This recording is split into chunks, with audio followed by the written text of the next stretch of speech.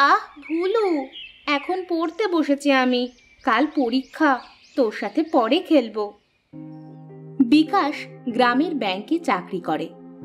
বউ রমা আর এক মেয়ে পায়েলকে নিয়ে তার সুখের সংসার। পায়েল ক্লাস নাইনে পড়ে। পড়াশোনায় খুব ভালো হওয়ার সাথে সাথে সে এক অসম্ভব দয়ালু মনের মেয়ে। কুড়ি দিনের ছোট্ট ভুলু যখন রাস্তার এক কোণে বসে কিছু বছর আগে মা হারিয়ে কাঁপছিল।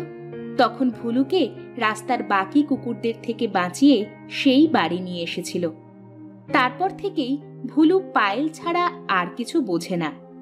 বিকাশ ও রমাও ভুলুকে অত্যাধিক স্নেহ করেন। প্রতিদিন সকালে বিকাশ ভুলুকে নিয়ে বাজার করতে যায়। আর প্রতিদিন সকালে বাজার থেকে ফেরার পথের চায়ের দোকান থেকে ভুলুর দুটি বিস্কুট চাই চাই যেদিন বিকাশ ভুলে যায় ভুলু দোকানের সামনে দিয়ে যাবার সময় তাকে মনে করিয়ে দিতে কখনোই ভোলে না। আচ্ছা বাবা ঠিক আছে ঠিক আছে। অনেক বড় ভুল হয়ে গেছে আমার। এই দেখ কান ধরছি। চল তোকে বিস্কুট কিনে দিই। আর আমিও এক কাপ চা খেয়ে নি হরি চা দে রে একটা এদিকে বাপ।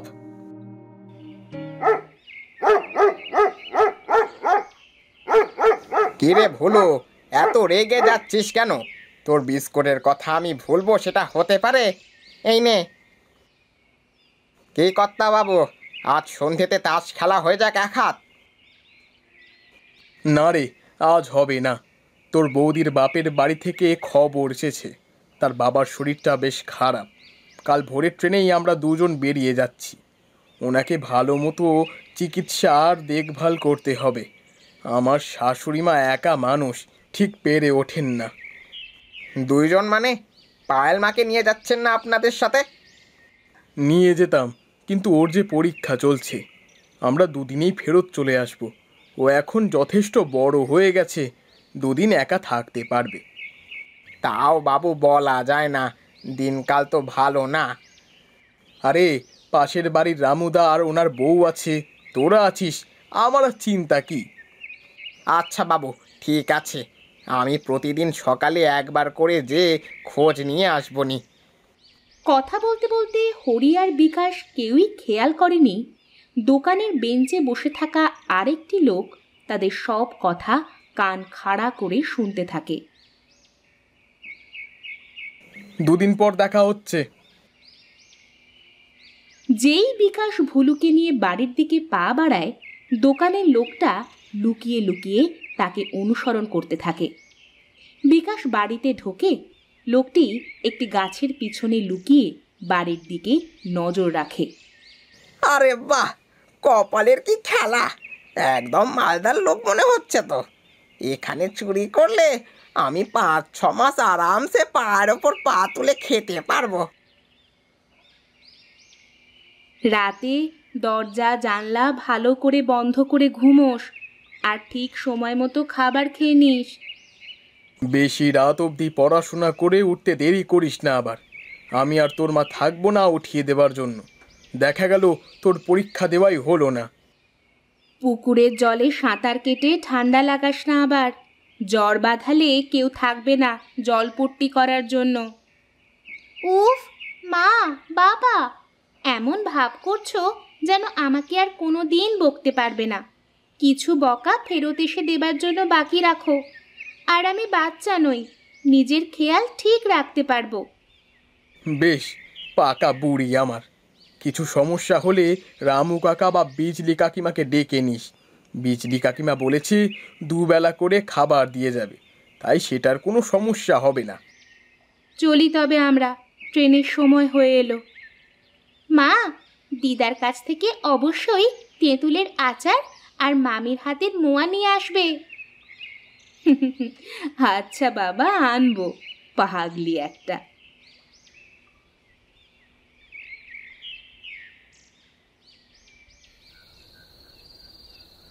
উফ, কি বড্ড গরম পড়েছে। যদি একটু পুকুরে ঝাঁপ মেরে আসতে পারতাম, তবে প্রাণটা জুড়িয়ে যেত। কিন্তু মা যে আবার মানা করেছে ধাপ অবশ্য মা এখন দেখতে তো পাবে না। একটু সাঁতার কেটে তো আসাই যায়। কি বলিস ভুলু? চল, তবে যাই।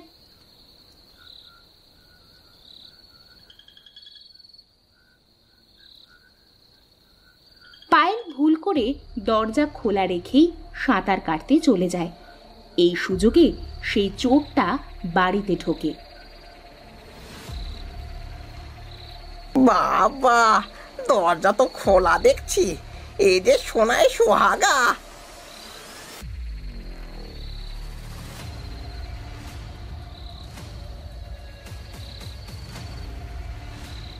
চোর চুরি করছে এমন সময় পায়েল ফিরে আসে। কে? কে ওখানে? এ কি? এই বাচ্চা মেয়েটা কোথা থেকে এলো? বাড়িতে তো কেউ থাকার কথা ছিল না। দেখো যা যা ঝুলিতে ভরেছ এক্ষুনি রেখে দাও। আর চুপচাপ এখান থেকে চলে যাও। না হলে আমি এক্ষুনি চিৎকার করে লোক ডাকবো। আর ভুলুকে একটা ইশারা করলেই না ও একদম ছিঁড়ে খেয়ে ফেলবে তোমাকে। কি বোকা মেয়ে রে তুই! এত কষ্ট করে বাড়িতে ঢুকলাম চুরি করলাম আর তোর কথায় সব রেখে দেবো? তুই এভাবে মানবি না না? যা তো ভুলু। এই ছাড় ছাড়। এই দাঁড়া দেখাচ্ছি।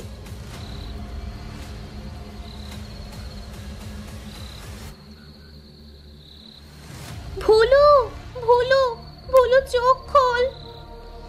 এই মেয়েটা তো আমার চেহারা দেখে ফেলেছে। কখনো যদি আমাকে দেখে চিনে ফেলে তাহলে আমার জীবনটাই তো শেষ হয়ে যাবে। তার থেকে বরং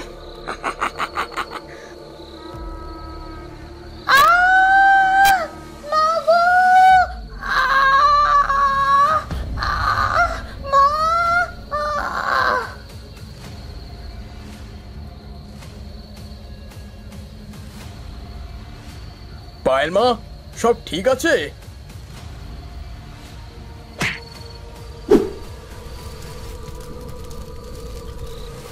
বিকাশের প্রতিবেশী রামু বুঝতে পারে কিছু একটা গড়বড় হয়েছে। সে আর তার স্ত্রী দৌড়ে আসে, কিন্তু ততক্ষণে অনেক দেরি হয়ে গিয়েছে। তারা এসে দেখে পায়েলের নিথর দেহ মাটিতে পড়ে আছে। আর ভুলুর আত পোড়া শরীরটা শুয়ে আছে তার পাশে।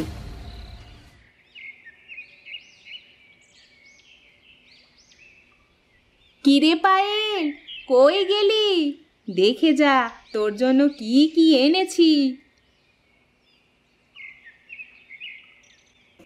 এ কি? বাড়ির সামনে এত ভিড় যে? চলো তো, দেখি কি হলো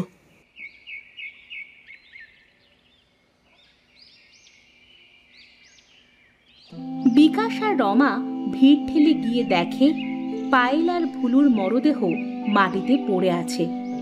তারা ডুকরে কেঁদে ওঠে। রমা কাঁদতে কাঁদতে মাটিতে বসে পড়ে।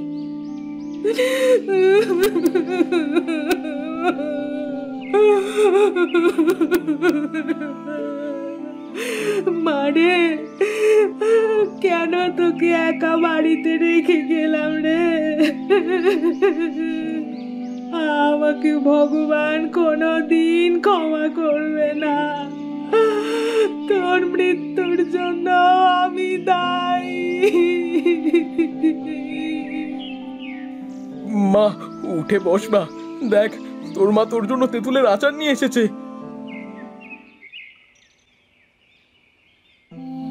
বুকে পাথর রেখে কাঁদতে কাঁদতে বিকাশ আর রমা তাদের আদরের মেয়েকে কবর দেয়।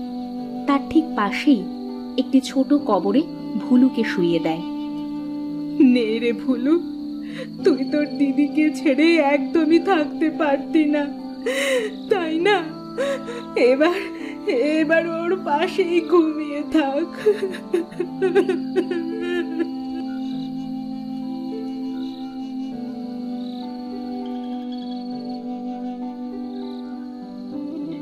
আশা রমা সেখান থেকে কাঁদতে কাঁদতে চলে যাবার কিছুক্ষণ পর পায়েলের আত্মা কবর থেকে বেরিয়ে আসে। বাবা মার এ অবস্থা দেখে তার মন একদম ভেঙে যায়। সে নিজের কবরের ওপর বসে কাঁদতে থাকে। তার কান্না শুনে ভুলুর আত্মা কবর থেকে বেরিয়ে এসে তার পা চাটতে শুরু করে। ভুলুরে, মা বাবার এত কষ্ট আমি আর দেখতে পারছি না।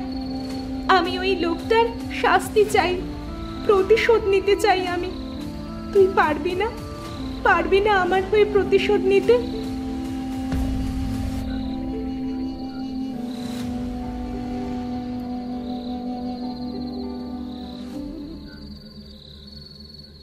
এই শোনো না গো, এই এই সীতাহারটা কত সুন্দর। এটা আমি রেখে দিই। আহা এতে নয় নয় করে সাত থেকে দশ ভরি সোনা আছে। বেচলে কত টাকা কামানো যাবে বুঝতে পারছ? ওটা বাদ দাও তুমি বরং এটা নাও। এ বাবা এটা আবার কার ছবি? ও এ তো সেই পাকা মেয়েটা। ভাবতে পারো এই পুচকি মেয়েটা নাকি আবার আমার ওপরে কুকুর লেলিয়ে দিতে এসেছিল। দিয়েছি একদম ভাবলীলা সঙ্গ করে। বেশি বড় বড় কথা বলছিল না? আর জীবনে ওর মুখ থেকে কথা বের হবে না।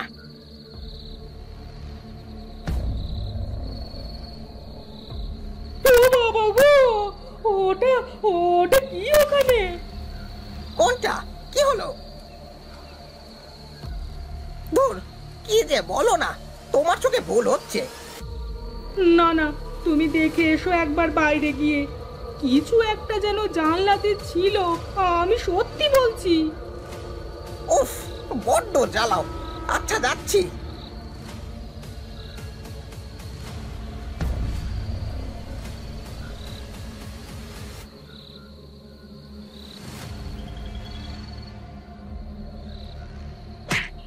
এভাবেই ভুলু তার আর পায়েলের হত্যার প্রতিশোধ নেয়।